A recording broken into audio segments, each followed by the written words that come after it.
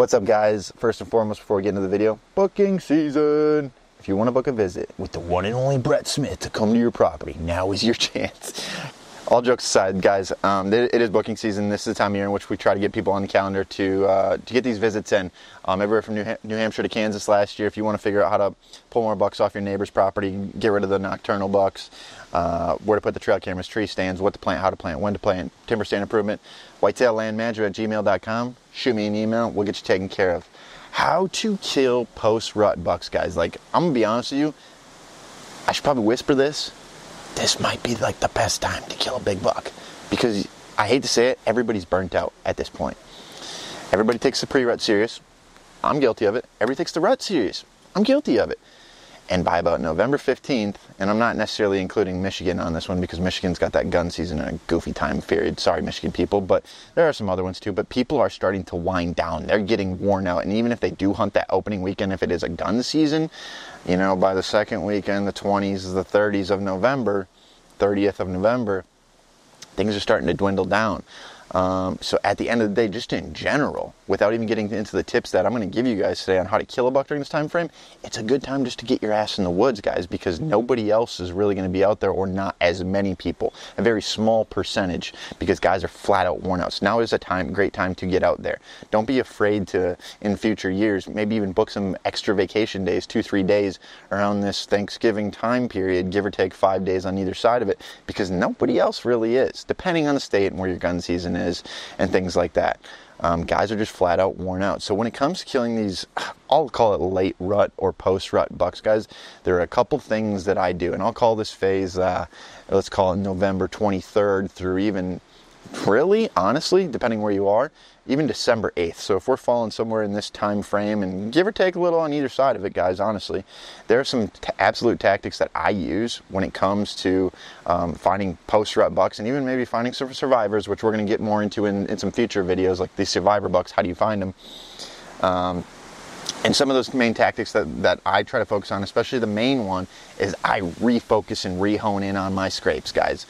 You know, you've heard me say this a billion times, guys, but there are like two scrapes that I'm super worried about. The one on the food source and the one in the destin- or next to the, the bedding area. The first scrape outside the bedding. Because now I'm going to pick him up on that first one when he comes out. I'm going to catch him on that last one when he's headed out to the food source. And now I've got his route figured out pretty much. And maybe he, he meanders off a little bit, but at the end of the day, he's going to be hitting these scrapes big time because now he's looking for that last doe or that second doe that's starting to come into estrus or those fawns that are now of the appropriate weight to the point where they can come into estrus. So if I had to be honest with you guys, I'm focusing on scrapes a lot more than I was the uh, 3rd of November through really the the 15th because they're not nearly as focused on the scrapes at that point because they are focused on the does because they are locked down with the does, breeding these does, chasing these does. They're not searching for them. So now this is a time period in which obviously we've seen that bell curve of peak breeding taking place on November 15th in which they begin to search again because there are less options. So what does that mean? It means they have to go to these core areas or, or these actual scrapes to check in and see, hey, who's still in estrus, who didn't get bred the first round, who's coming into estrus. And if we can focus on the scrapes right next to the bedding and also right next to the food, the rest of the movement is going to take care of itself. Really, I know we all love to run, run 500 trail cameras, guilty of it, but you only need two in this given scenario. Hunt, I mean, put one on the scrape closest to the bedding and one closest to the food. Another thing that I'm going to focus on when it comes to um, hunting this time of year is the rub line. So here's the thing there's random rubs everywhere. But if we can figure out where the rub line is and kind of make sense of it because we know where the food and the bedding is, um, at the end of the day, what we've learned because they've laid down the sign and literally showed us is the uh, transition area and the travel route to and from that. A lot of times these deer are, are traveling just to find breeding partners. And in between there will be scrapes, obviously, but we don't always have to sit on the scrape. I do like to, but these scrape lines, or excuse me, these rub lines might be on the down, downwind side of bedding. Um, they might be they might be on a, on a food source. At the end of the day, they're in places in which these bucks frequented quite often in the pre-rut when they really focused on laying down sign, and they were doing that for a reason. It's because that those are the areas in which the does were.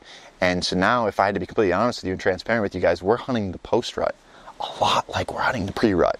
that that mediocre middle phase. I don't think a lot of guys change their tactics sometimes, and that's why somebody some people have that November lull, that November third. You keep sitting in that same spot you sat in October 25th, and it's different things are happening. But now, if you're the guy that just stuck it out and stuck it out, and chances are you probably got tired and you're not out there for the post rut. But let's say you are. Now all of a sudden your spot, let's say you never moved from October 25th, you had the same spot, starts to get really good again because the same things are happening on a little bit, mm, um, little bit less um, intense, um, a little bit less, just less intense, uh, basically less intense pre-rut is happening again. Like another round of does are starting to come in. The last remaining does that didn't get bred yet are still in. It's that time period in which those bucks are just trying to find those does. So at the end of the day, guys, I want you to focus on scrapes, the important scrapes, not random scrapes. And if you don't know, like go out and figure it out this time of year. You're already kind of desperate. You're getting to the point of the season where it's getting a little bit harder to kill a buck. Get your butt out there and scout and figure out what's where. But at the end of the day, pay attention to these scrapes, pay attention to these rub lines, especially on the downwind side of bedding areas. Um, that's going to show you uh, the direction in which these deer are moving, especially once we get into double-sided rubs. You know they're going both ways. You know what I'm saying? Um, so just fo- p- focus on those rub lines because those are transition areas or areas in which these bucks are frequenting. Um, just searching for does once again. And at the end of the day, if I had to give you one major tip, guys, go back to the same tactics that you used October 25th give or take, around November 25th. And if you do that, I bet you find a post rut buck.